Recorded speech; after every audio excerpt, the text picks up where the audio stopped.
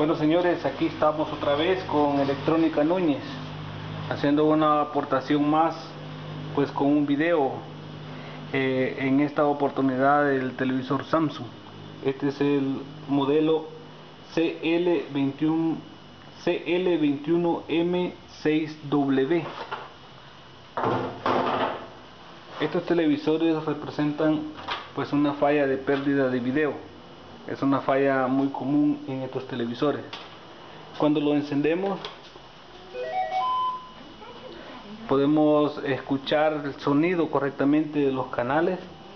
De hecho si le conectamos un DVD pues podemos escuchar correctamente también el, sonido, el audio.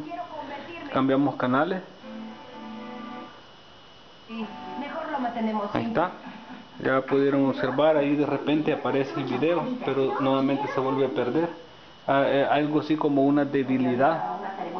Podemos eh, a veces deducir de que podría ser la pantalla la que tenga problemas y, creer eso y a veces gastar o ponernos a trabajos adicionales y, y la verdad no, no es eso lo que genera esa falla. Cuando tenemos un defecto así, lo primero que nosotros debemos de, pues revisar es, el estado del circuito está integrado el control del circuito IK muchas veces él es el que se daña y causa ese tipo de fallas que se reflejan en la pantalla.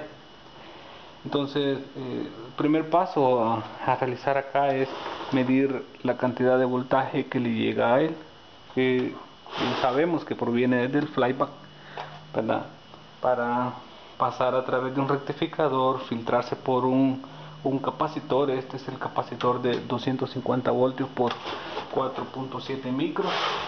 En otros televisores es el por 10 micros o por 22 microfaradios. Muchas veces es este filtro el que está dándose problemas entonces el integrado que controla el circuito IK se bloquea por esa misma razón. O muchas veces eh, realmente es el integrado el que ha causado el problema. Por eso en algunas ocasiones tenemos incluso líneas de retraso pero es porque el integrado se ha dañado. Otra de las grandes posibilidades para eh, que podemos tener para resolver esa falla es reprogramando la memoria EEPROM porque muchas veces un, mal ajuste o una desprogramación que ella puede tener pues las variaciones de la corriente eléctrica puede causar que se desprograme y, pueda generar una falla como la que hoy tenemos. O, o, bien podría ser en sí el circuito de pues este es el microjungla. Este integrado que internamente según su información trae una memoria EEPROM interna la que pues se bloquea y comienza a generar este tipo de fallas ahora eh, para no alargar mucho este video para, eh, quiero decirles de que ya hemos eh, verificado el voltaje que le llega a este circuito que controla pues el, circuito IK entonces este es un integradito bastante común en estos televisores. De hecho una Sony y otras marcas más es el integrado TDA 6107JF. Ya, ya vimos el voltaje, está correcto, ya medimos los capacitores, pues todo es correcto. Ya cambiamos el integrado también. Es la misma falla, no pudimos resolver nada. Reprogramamos la memoria EEPROM de la que estamos hablando y la misma falla. Entonces, la única manera que tenemos acá, esto sería que podamos meternos a los parámetros del televisor y verificar eh, el parámetro que controla el circuito IK y, modificarlo o regularlo. Ahí podemos resolver este problema. Con el control remoto original o bien este genérico que funciona correctamente en este televisor estando el televisor en stand-by como lo estamos viendo eh, presionamos acá la tecla mute luego 182 power. Se espera que haciendo eso el televisor pueda entrar a los parámetros. Y, presionando después la tecla mute se nos pueda desplegar aquí la, la señal en que necesita el ajuste del screen dice. Entonces vamos a presionar. Mute. 182 power. Ahí ya se escucha el audio.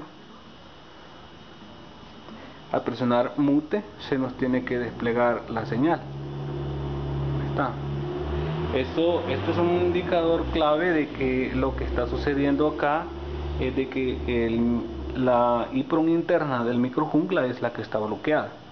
Entonces es probable que es probable que el parámetro del circuito IK pues esté cerrado. Y ese es lo que nosotros vamos a hacer. Lo vamos a activar nuevamente. Entonces estando así nosotros venimos y lo apagamos nuevamente. Entonces presionamos otra vez mute 182 power. Nuevamente estamos en los parámetros pero solo que en esta en esta vez no vamos a presionar mute sino que vamos a presionar volumen menos. Al presionar volumen menos entramos a la lista de los parámetros entonces como no nos logra no, no logramos ver definitivamente para llegar hasta el parámetro que controla el circuito IK vamos a darle canal menos 14 veces. 1 2 3 4 5 6 7 8 9 10 11 12 13 14 si, si logran ver creo que no se logra ver mucho con esta cámara que tengo acá pero ya estamos en el circuito IK estando ahí entonces le presionamos volumen más. Ahora otra vez volumen más. Ahí está. Acá si no se logra ver bien en la imagen de mi cámara pero aquí está el, el, el parámetro AKB este es el que controla ese circuito IK cuando lo revisamos está en cero. Al activarlo con volumen más ya está en, pues con un grado de, de, en cambio ahí de 0 a 0,1 grado y ahí se soluciona el problema. Estando así entonces nosotros vamos a apagar el televisor para salirnos de los parámetros y guardar los cambios.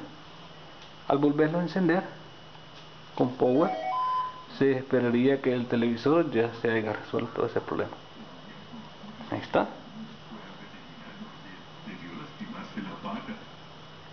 Ahí podemos ver. Ahí está resuelto el problema. Quiero decirles amigos de que muchas veces eh, eh, pues gastamos de más nosotros para poder resolver alguna falla que a la verdad no está muy difícil o complicado resolverlo eh, quizás por no buscar información pues les invito a que sigan viendo mis videos buscaré realizar algunas fallas que, más nos dan duro a veces en los talleres o para los principiantes también. De hecho, este video puede servirle mucho a, un novato en electrónica o cualquier persona que, que en su casa quisiera intentarlo y resolver su falla en su televisor. Así de que estén pendientes de mis videos, no olviden suscribirse. Ok señores, ha sido un gusto, saludos a todos mis suscriptores. Agradezco también que se estén suscribiendo a mi canal gracias ahí y recuerden estamos pendientes con otros videos que me han pedido ya muy pronto los subiré también y así pues eh, hacer más aportaciones para que ustedes se beneficien un poco. Ok señores hasta la próxima